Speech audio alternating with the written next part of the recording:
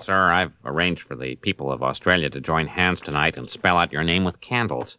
There's a satellite hookup on that monitor if you'll just turn your head slightly. Bah, no time. Next!